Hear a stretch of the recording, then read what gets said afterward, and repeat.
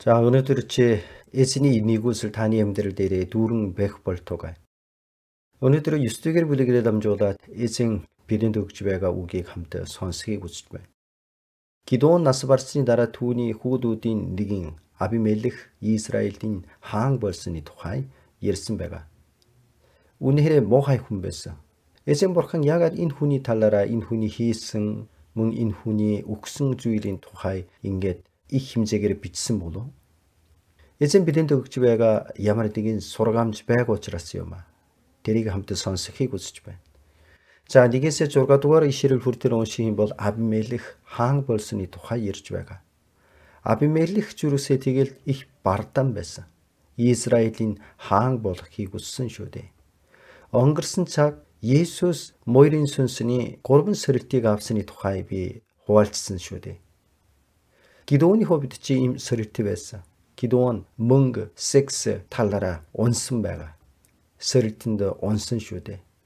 Мөн шашны эрх мэдлийн сорилтонд унсан байгаа. Өөрөө шашны уудэрдэгч болсон байгаа. Гэхдээ хаан болохыг татаглалцсан байгаа. Өөрсдийн эрх мэдлийн сорилтыг ялсан байгаа. Гэхдээ түүний хүү Абимелех өөрсдийн эрх мэдэлтэй болохыг хүссэн байгаа. Шунаалтай байсан. Израилийн хаан гэх юм бол зөвхөн эцэг бурхан юм а. Харин өөрөө Израилийн хаан болохыг хүссэн. Тэгээд Сехем гэсэн газар руу явсан байгаа. Яг гэвэл Сехем гэсэн газар маань өөр нь төрсөн нутаг учраас юм а. Сехем хотод э, ерийн Канаанчууд амьдарсан. Израильчууд тэр Сехем газрыг эжилж аваад Канаанчуудыг хон зайдуулах хэрэгтэй байснаа тэгээгүй хамт амьдарсан шүү дээ. Гидон Сехем нэгэн эмэгтэйтэй гэрэлсэн байгаа. Татвар имтэй унтаад Абимелех төрсөн байгаа хгүй юу? Тийм учраас Абимелех хувьд талд нь Израиль, талд нь Канаан гэд хийлэх болно. Гидон үнэхээр олон их нэртэй байсан. Имэгтэйд дуртай байсан болохоор Сехем хар имэгтэйдээ гэрэлсэн байгаа. Тэгээд Абимелех төрсөн байгаа хгүй юу? Тэгээд Абимелех Сехем хотод очоод өөрийн нутгийн хүмүүсээр хандаж өөрийн атил үндэстэн хүмүүстэй очоод ярьж байгаа. Тусламжийг гуйж байгаа. Би хаан болоо гэж байна. Надад туслаарэ гэд хэлсэн байгаа. За хоёрдугаар ишлэлийг харъя. Сехемийн бүх ахлагчдын өмнө ингэж хэлсэн байгаа. Ербаалын бүх хөвгүүдийн болох далтан хүн та нарыг захирах эсвэл ганц хүн та нарыг захирах нь алтан та нарт дээр вэ гэж асуусан байна. Би та нар няс махны тасархай гэдгийг чи санагтун гэж хэлсэн байна. Атил үндэстэн болсон би та нарыг захирах энэ илүү дээр байгаа үстэй гэсэн үг юм. Атил цусыг хуайлцсан гэсэн үг. За тэгээд Сехим хүмүүс Абимелех төлөө юу хийсэн бilé? Тэд Баал Бертийн дугаанаас 70 шекел мөнгө авч Абимелехт өгсөнд тэр мөнгөөр үл бүтэх бодлогогүй эдгээдүүдийг хөслөв. Тэд Абимелехийг дагалдан явлаа. Тэд нар бол Баал бурхантай гэрээ байгуулсан хүмүүс. Баал минь та бол миний эзэн бид нар бол та нар жарж химэн гэрээ байгуулсан хүмүүс байгаа байхгүй юу? Тийм учраас Баал Бертийн дугаанаас 70 шекел мөнгийг аваад Абимелехт өгсөн. Абимелех тэр мөнгөөр дээрэмчид Мапи хүмүүсийг худалдан аваад өөрийн ах дүү нарыг талтан ах дүү нарыг алсан байгаа. Ямар аимшигтэй юм бэ? Сехем хүмүүс түүнийг Сехемийн хаан буюу Израилийн хаан хэмээн хүлээн зөвшөөрсөн байгаа. Сүв шудраг байгаагүй. Худал хуурмаг зүйл юм. Далдан Гидооны хүүхүүд бүгд нас барсан харны хамгийн баг хүү Юдам ил амьд үлдсэн байгаа нуугдаа. Дараа Юдам Сехимд очоод Сехим хасууд байгаа гэржим уул дээрээ жогсоод Сехим хүмүүс рүү хандж ингэж хэлсэн байгаа. Иш үчүүлсэн байгаа. Төрүүлээд зүйрлэн хэлсэн шүү дээ. Модны талаар. Модны хааныг томилох гэж байсан. Сонгох хэрэгтэй болжлоо.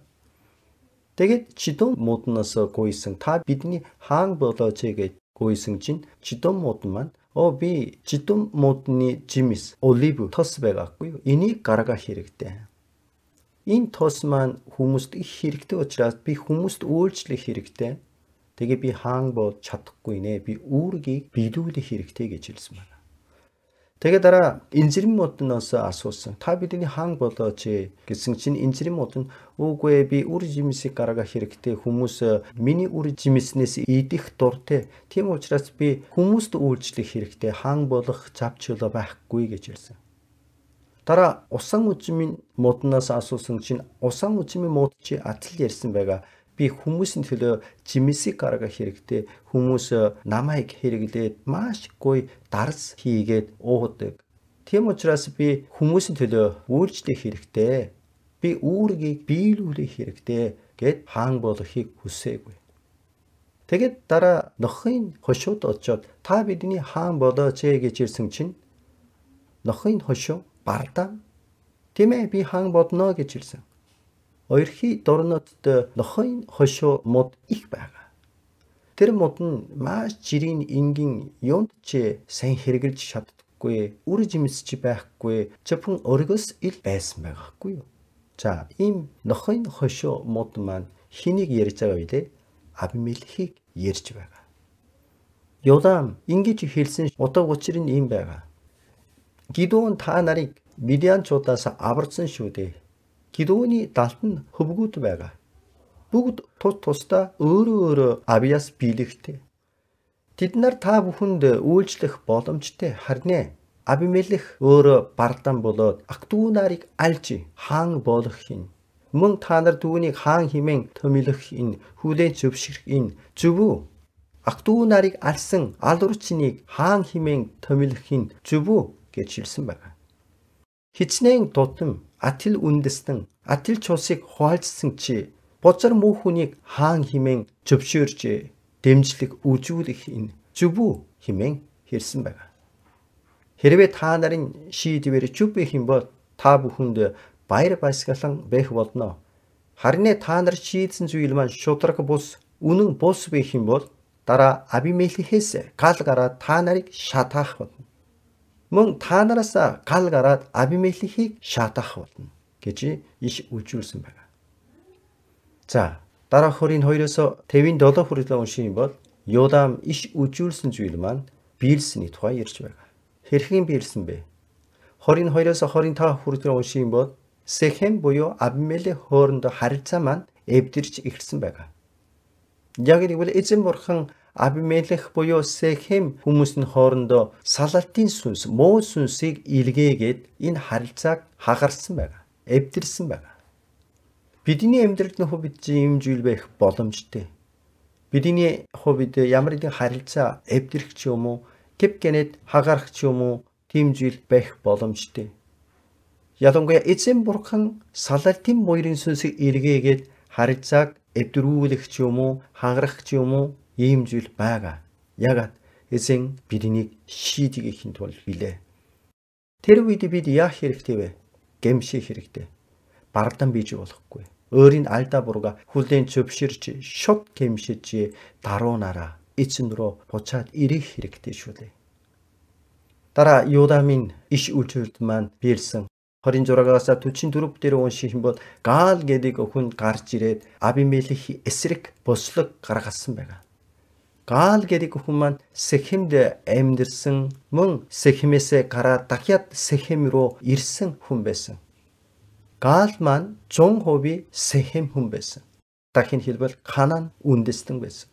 Абимелех бол тал нь Израиль тал нь Канaan байсан шүү дээ. Харин Гаал 100% Секхем хүн байсан. Тэгээд Гаал юу гэж ирсэн бilé? Манай нутгийн өвг дээдэс Авраамийн үед Хаамул гэдэг хүн байсан шүү дээ бид хаамуулын үр хүүхэд учраас хаамуулын үр хүүхдийн дундаас нэг хүн өөдрөгч хаан болох хэрэгтэй хэмээн Абимелех эсрэг бослог гаргасан байгаа байхгүй. За ийм зүйлээс болоод Абимелех цэргүүдийг дагуулж ирээд Гаал буюу Гаал буюу түүний цэргүүдийг алсан байгаа. Дараа 45-аас 49 хүртэл унших юм бол Абимелех буюу түүний цэргүүд маань Сехем хот хүртэл нурааж Секем хүмүүсийг арсны тухай ярьж байгаа.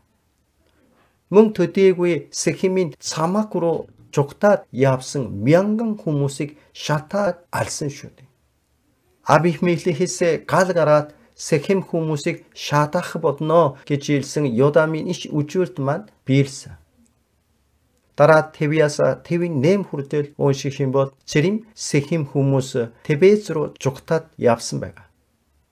Тэгэд Абимелех цэргийг дагуулж Тэбэс рүү явж Тэбэс нь чамд байгаа хүмүүсийг шатааж алххийн тулд хичээсэн. Тэр үед чамаг дээр байсан нэг эмэгтэй Тэримийн чулууг шидэж тэр чулуу маань Абимелех тоолгойд унсан байгаа. Тэгээд Абимелех үгсэн шүү дээ. Сехим хүмүүсээс гал гарч Абимелехийг шатах болно гэсэн Юдамын иш үчүүлт маань биелсэн. За түгүнэл тэрийг ярих үзэж байна. Ийм яриагаар дамжуулаад бид ямар сургамжийг авах боломжтой вэ? Эзэн бурхан шудраг ба үнэний бурхан шүү дээ. Мишбат ба Чедак бурхан шүү дээ. Энэ нь бурханы мөн чанар байгаахгүй юу? Тийм учраас буцаар мууг үйлцээг хүнийг зүгээр өнгөрөхгүй. Заавал тэр хүнийг эзэн шийдэх болно. Хорон муу нэгнийг шийдгэж эзэн бурхан өөрөө би шудраг үнэн бурхан гэдгийг ичилдэг. Эзэн бурхан Юдамаараа дамжуулаа иш үжүүлсэн бөгөөд тэр иш үжүүлэлт маань биелсэн байна. Эзэн хэлсэн бүх зүйлийг биелдүүлдэг эзэн шүү дээ. Абмелех бардан байсан. Хайр инрэл байгаагүй, шудраг үнэмч байгаагүй, хаан ах トゥ нарыг алсан бозар муу нэгэн байсан. Сэхэм хүмүүс чи атлан бозар муу нэгнийг хаан химэн чөвшөөрсөн. Атил үндэстэн гэж Абимеле хаан болох юм бол бидэнд ашигтай химэн тэр хүнийг дэмжсэн байгаа. Энэ ч гэсэн шудраг бус байсан. Харин тэр хүмүүсээ өөрийгөө ажиглахыг үзэж байна. Эргийн харахыг үзэж байна. Надад ямар нэгэн шунаал, надад ямар нэгэн бардам зан бих юм бол тэрийг өнөөдөр хайцгаая. Мөн шудраг бус, үнэн бус зүйл миний амьдралд бих юм бол тэрийг хайцгаая. Гидеон Мидианаас Израилийг аварсан гаймшигтээ уудирдагч байсан. Үнэн дээр суулдрын нэгэн чичирдэг айдаг хүн байснаа эзэн түүнийг тасгалж уулан Израилийн хүчтэй уудирдагч болгосон. Харин Гидеон нэг л зүйлийг мартсан. Нэгэн зүйл дээрээ алдаа хийсэн. Израилийг улс төрийн хувьд аварсан харин сүнсээр Израилийг аварч чадаагүй. Энэ нь илүү гол ажил байсан. Эцэг түүнд даалгасан илүү том ажил буюу дуудлага байсан байгаахгүй. Израильчуудыг бузар муу бурханд шүтэн шүдэх зүйлээсээ аврах хэрэгтэй байсан. Чүп замаараа чийлүүлэх хэрэгтэй байсан. Зөвхөн эзэн бурханд хүндэлдэх зүйлийг заах хэрэгтэй байсан. Хүүдүүдэд заах хэрэгтэй байсан. Хүүдүүд тэрийг сураагүй учраас хүүдүүдийн дунд Абимелех гарч ирээд ийм асуудал гарсан байгаахгүй. Ард түмнийг дагаар дуулах хэрэгтэй байсан. Заах хэрэгтэй байсан. Харин ийм ажил дээрээ алдаа байсан. Яг Мидианчууд Израиль руу дайрсан бэ. Бурханаас холдсон учраас. Тийм учраас Израилийг аварсны дараа үнээрээ сүнсээрээ аврагдах хин тул ажиллах хэрэгтэй байсан. Харин Гидеон эбот хийгээд өөрөө бардан болсон байгаа. Хүмүүсээс алдар магтан авах дуртай болоод түүний нас барсны дараа ийм асуудал өнөөдөр хамт сурсан ийм асуудал гарцсан байна. Ялалтыг байгуулдаг уудагдагч ямар хүүхэн бэ хэрэгтэй вэ? Даруу нэгэн бэ хэрэгтэй юм. Мөн шудраг үнүүний дагуу үйлддэг хүн бэ хэрэгтэй юм. Мөн хүмүүсийг сүнсээрээ авардаг Зөвхөн эзэн бурганыг алдаршуулдаг, дагалдагч, бөөлгөдөг, уудирдагч байх хэрэгтэй юм. Та бүхэн ийм уудирдагч болох болтугай.